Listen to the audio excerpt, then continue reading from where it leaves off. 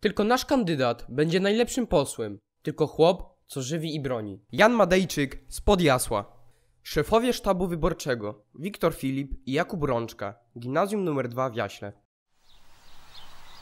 Obywatelki i obywatele, mieszkańcy miasta Jasła i Włościanie ziemi jasielskiej. Witam was staropolskim, chłopskim katolickim. Szczęść Boże! Dobrze, żeście tu przyszli.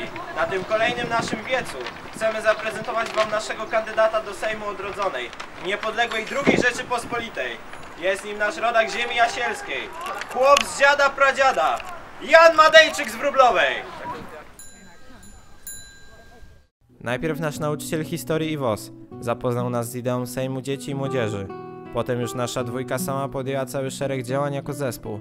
Wspólnie zaplanowaliśmy i wykonaliśmy zadanie rekrutacyjne. Dokładnie, zapoznaliśmy się z historią Sejmu Ustawodawczego i Sejmu pierwszej kadencji drugiej RP oraz przewodnikiem uczestnika 24. sesji Sejmu Dzieci i Młodzieży. Penetrując różne źródła, wybraliśmy swojego posła.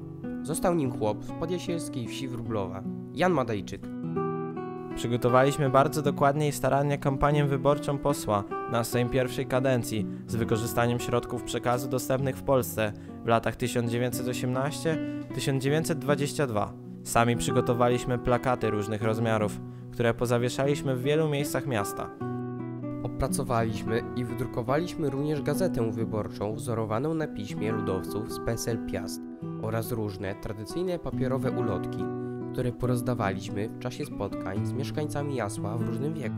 Dotarliśmy też do ludzi, którzy stali się naszymi sojusznikami w tych działaniach, innymi z kręgu harcerstwa i Stowarzyszenia Miłośników Jasła. Pod pomnikiem Tadeusza Kościuszki w Jaśle zorganizowaliśmy patriotyczny wiec wyborczy. Kolejny taki wiec odbyliśmy przed jasielską glorietką, upamiętniającą wizytę w Jaśle cesarza Franciszka Józefa I. Przybliżyliśmy w nich postać naszego kandydata na posła, jego partię i jej program wyborczy. Całą naszą akcję rozpowszechniającą projekt działania, rezultaty badań ankietowych, jakie przeprowadziliśmy na temat tego posła i jego partii PSL Piast oraz parlamentaryzmu i konstytucjonalizmu zaprezentowaliśmy w mediach, m.in. w gazecie Fakty Sielskie i na sielskich portalach internetowych. Cieszymy się, że udało nam się tak spopularyzować i upowszechnić wiedzę o naszym bohaterze lokalnym, pośle II Rzeczypospolitej oraz jego znaczeniu dla historii Polski i regionu. Dużo zadowolenia dało nam przybliżenie nie tylko młodzieży historii polskiego parlamentaryzmu i historii II Rzeczypospolitej i funkcjonowania jej Sejmu.